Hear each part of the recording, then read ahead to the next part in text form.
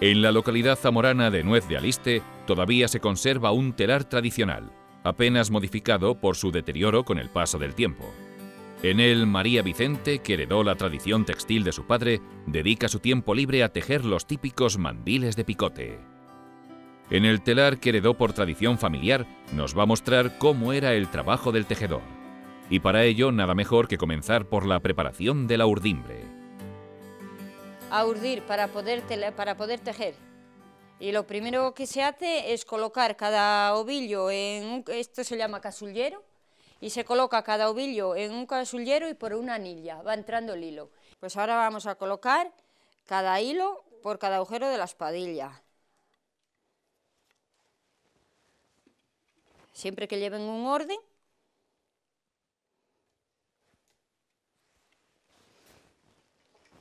para que no se me enreden. Son 12, que son 12 hilos.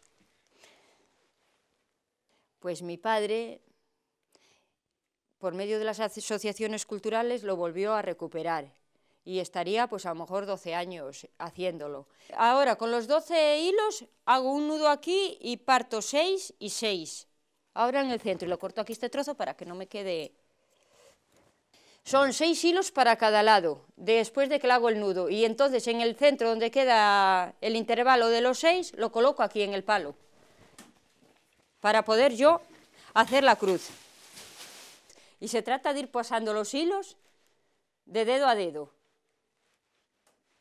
Y vuelven a quedar. Ahora quedan para arriba y para abajo, el intervalo de, de los hilos con el dedo mío. Y los voy colocando en estos palos. Y la cruz que queda aquí la cruz que hago yo con los dedos, ¿dónde queda? Esta cruz nunca la puedo perder, siempre es la que me va a ayudar a hacer la tela en el telar, porque sin ella no haría tela, es lo que va a hacer subir y bajar los pedales, y al subir y bajar los pedales se va quedando la cruz siempre. Y a esto le voy dando vueltas hasta hacer 18, para hacer una tela tengo que hacer 18 vueltas de, del urdidero. Le voy dando vueltas hasta llegar otra vez a, estos dos palos de abajo, que aquí vuelvo a hacer otra cruz. Le hago aquí otra cruz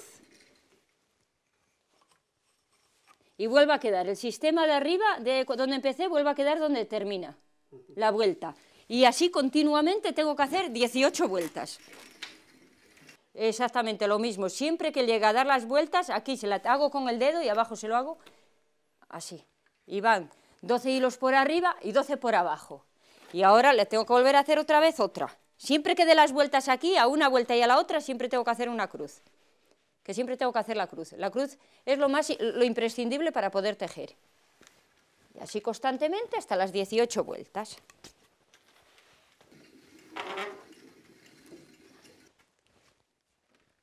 Ahora, así. Ahora otra vez así, igual. Ahora, que si quiere, hago otro poquito más para que vea cómo la saco en una madeja, porque después esto se convierte en una madeja, que es la madeja después la que llevamos para allí.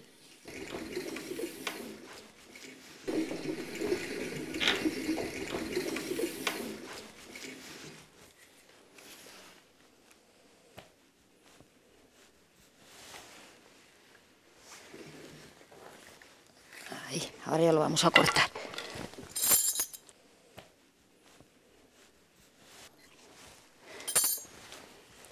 Y ahora aquí lo divido otra vez, bueno, no hace falta porque ya está medio suelto y lo ato aquí.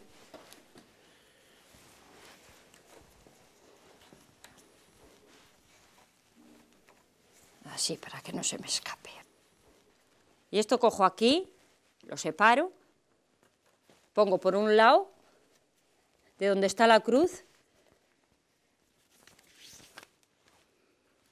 Y ahora por el otro lado, siempre queda en el medio de la cuerda la cruz.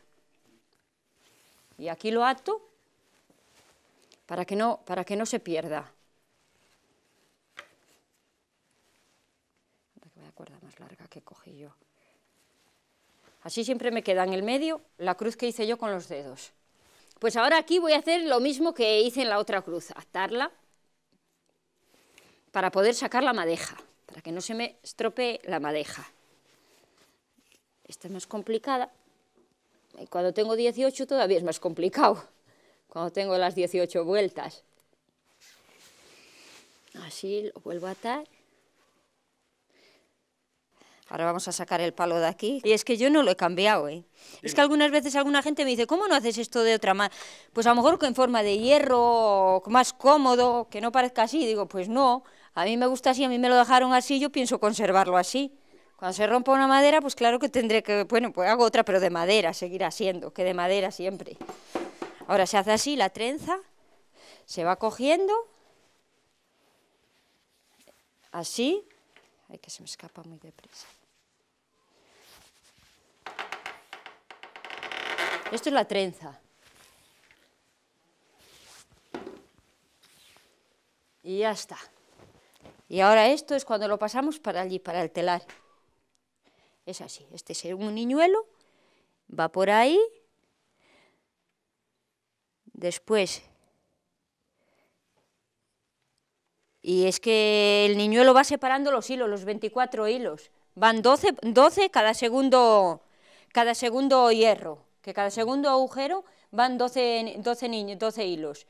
Y la cruz es los que los va separando. La cruz que hice allí va separando los hilos. Y así constantemente se rellena todo el, rastrillo. Dejo un trozo del tejido y un trozo de hilos que le llamamos la cerra.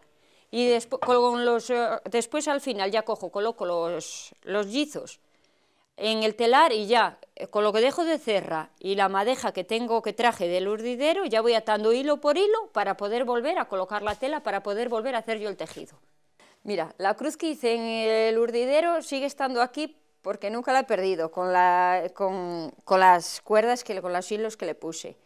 Coloco estos dos palos, que es un modo de... es el que no me deja perder nunca, la cruz siempre está ahí y el modo de que me abra la tela ahí.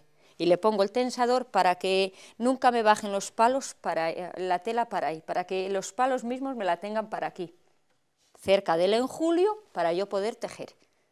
Ahora vamos a hacer las canillas, para poder tejer que las canillas se hacen de cañilero, de una, mm, bueno, no es un árbol, que se da por aquí en los sitios frescos y se le come por dentro para que pueda entrar el hierro del canillero o el torno.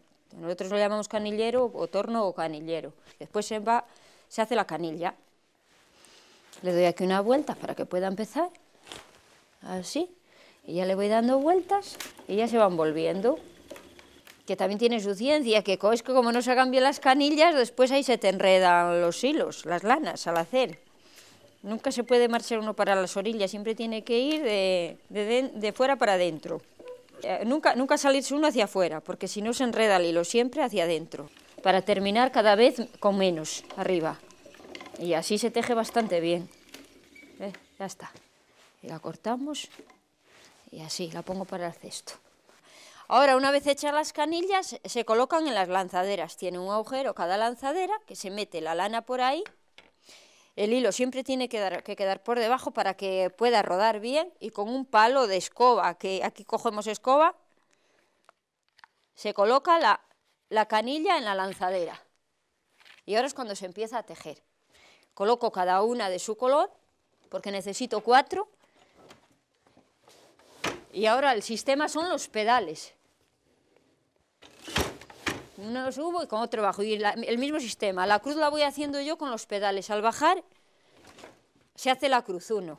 Aquí. Una, una cruz está aquí y la otra está aquí. Esta la hacen los palos y esta la hago yo con los pedales al subir y al bajar. Aquí abro, aquí abro. Y ahora cuando bajo el otro cierro y es cuando se hace la cruz. Que creo que se nota. Que se nota. Y así, pues en sí ahora el tejer, pues es muy fácil. La verdad es que es lo más fácil del telar, tejer. Ya voy cambiando los colores según lleva el mandil. Los colores, eh, si son rojos o si es verde. Claro, cuanto más, cuanto más abra el telar, mejor. Yo telo con más facilidad. Y claro, y voy más deprisa porque la tela abre y la lanzadera entra mucho más fácil. Sin embargo, si está cerrado...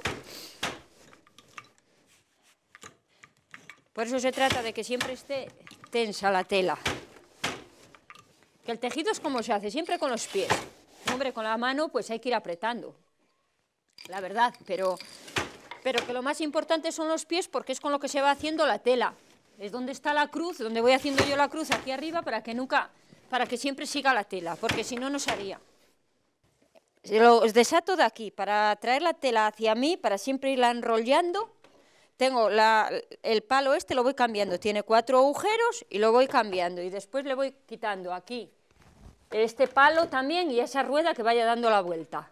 Y así es el, medio que tengo para ir atrayendo la tela hacia mí, para yo no tenerme que, tirar tanto hacia adelante y perla enrollando aquí, para poderla hacer. Y después aquí le doy un nudo, que fue lo que más me costó aprender del telar, hacer esto. Para que siempre me vaya tensa, porque la tela siempre que tiene que ir tensa, nunca puede estar floja. Y los palos los voy recorriendo, siempre hacia adelante, a la vez que yo traigo la tela para atrás, los palos siempre los voy, tirando hacia adelante para que a mí me quede espacio para poder tejer. El templé le llamaba a mi padre y yo se lo sigo llamando porque, bueno, pues así lo he oído. Lleva aquí unos agujeros que esto lo voy yo graduando como está de ancha la tela, lo voy, lo voy colocando, lo voy poniendo en el agujero correspondiente. Y, con esto voy tensando la tela para que, nunca se, para que no se arrugue, para poderla ir enrollando. Yo a la vez que voy tejiendo, según voy haciendo la tela,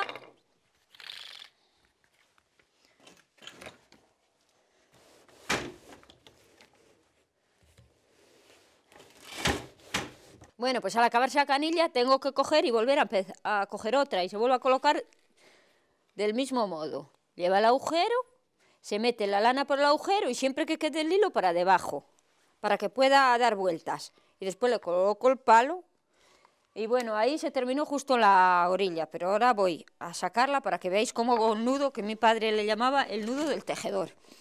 Porque si no es este nudo, tampoco, por aquí, por el peine no pasan. Y en el hilo hay que hacer también este nudo. Porque si se hace así, el otro, el más corriente, no vale para tejer. Así que el nudo es este. Así, hay gente que dice que es muy difícil, bueno. Y ya está hecho. Bueno, yo por mi padre, principalmente, porque él encima, bueno, él vivió del telar, después ya lo dejó porque no, claro, ya no era un medio de vida. Y después, por medio de las federaciones y asociaciones culturales, lo volvió a recuperar. Y después ya, a causa de la enfermedad que tuvo y eso, pues ya fue cuando lo dejó y ya me, me enseñó a mí. El tejido tiene 12 metros la trenza que, hice son 12 metros y cuando los acabo ya de tejer, entre pieza y pieza siempre dejo un margen, que es con la tijera, dejo un margen así de 2 centímetros más o menos para yo poder cortar. Y después ya lo expliqué más o menos antes, que siempre dejo la cerra, es un trozo de tejido más o menos de esta anchura y con el trozo de los hilos. Yo al terminar la, eh, la labor, cojo después, le doy unas vueltas ahí para que no se me escape le hago como una cerra también y ya lo dejo para la próxima vez que lo vuelva a hacer. Son los mandiles de picote, típicos de la zona de Aliste, que es lo que, lo que suelo hacer, porque esto sí que se vende, bueno, y la gente los utiliza para los trajes tradicionales. Este antaño, cuando la gente se vestía de, lo que se hacían los telares, este decían que era el de, todos los días. Este era el que traía la gente para la cocina, más o menos, o para ir al campo.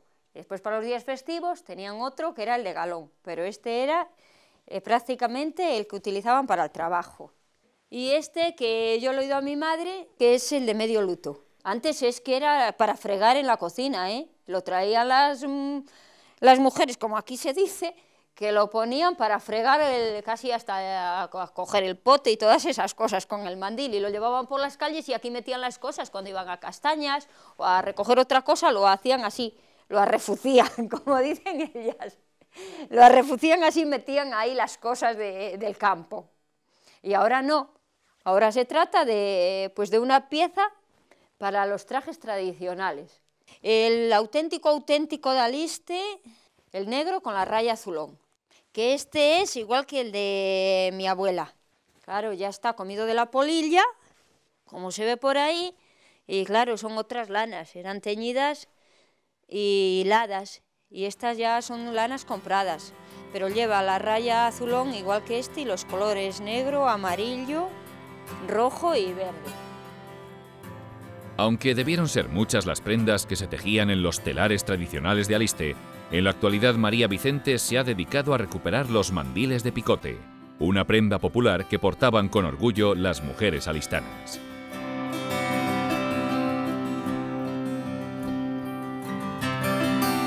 Soy Eugenio Monesma, director y productor del documental que acabas de ver. Si te ha gustado, te animo a que te suscribas activando las notificaciones desde la campanita y así podrás disfrutar de los cientos de documentales que ya tengo en el canal y de los que semanalmente voy a ir subiendo.